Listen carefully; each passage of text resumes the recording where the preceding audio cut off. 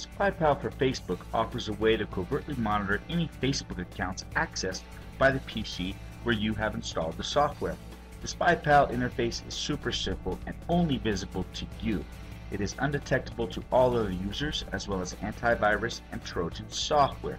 Additionally, once the software has been installed, you'll never need access to that PC again as the SpyPal software will email reports to the email address of your choice. Dashboard is easy enough for anyone to navigate, and as all SpyPal products operate the same, once you're familiar with SpyPal for Facebook, you'll be instantly familiar with SpyPal for Skype, Yahoo, MSN, and others. Here we can see we're logged into a Facebook account and it's running invisibly in the background.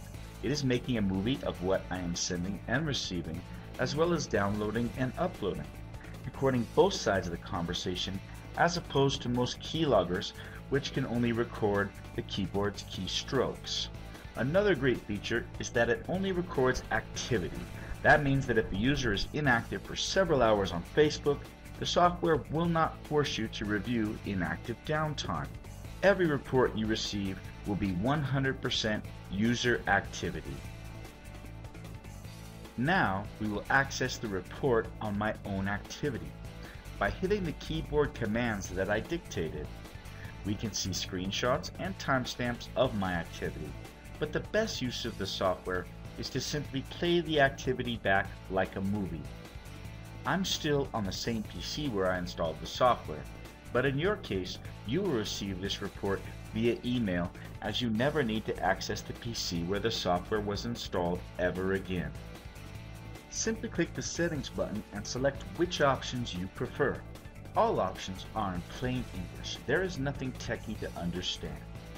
Here, we'll be able to decide whether or not we want the program to run automatically.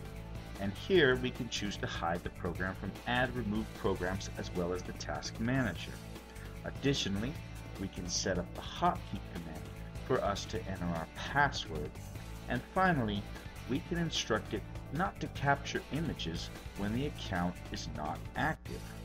So you will only need to change the settings if you want the software to operate more transparently. Are just as easy. You can view logs, start the program, stop the program, purchase another version for Skype, Yahoo, or MSN, contact support with any questions you may have, or uninstall the software. Thank you for watching this tutorial and be sure to download the free version of Facebook Spy today and give it a try for yourself.